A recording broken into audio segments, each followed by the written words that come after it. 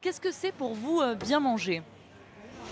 Bien manger, c'est des produits sains, euh, sans pesticides, euh, des produits naturels, bons fruits et légumes. Vrai, les fruits et légumes sont bons pour la santé. Célia ne dira pas le contraire. On regarde ensemble le menu? Et pour cause, le bien manger, c'est son métier. Comme ce matin, dans cette EHPAD de la région ajaxienne, la nutritionniste veille toujours à élaborer des menus équilibrés.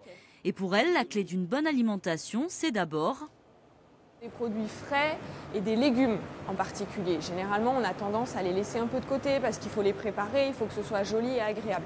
Donc il faut vraiment aller au rayon frais, aller chercher des légumes et si possible des légumes de saison. C'est quand même ça le plus important. Bien manger, oui, mais à quel prix? Est-ce que vous trouvez que c'est plus cher de bien manger? En général, oui, puisque si on achète des plats tout prêts, ce sera toujours, je pense, moins cher que, que de prendre du bio ou des légumes. Faux. Pour les associations de consommateurs, il est possible d'avoir une bonne alimentation pour un budget correct, simplement en modifiant ses habitudes de consommation.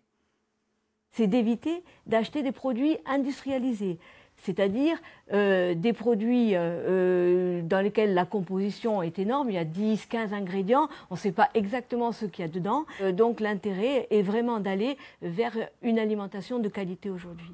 Et une alimentation de qualité, ce n'est pas forcément synonyme de surcoût important.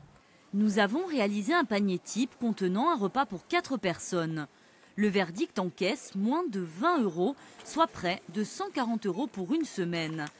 La grande partie des aliments choisis provenait de production locale, sans doute l'une des solutions de demain pour bien manger sans se ruiner.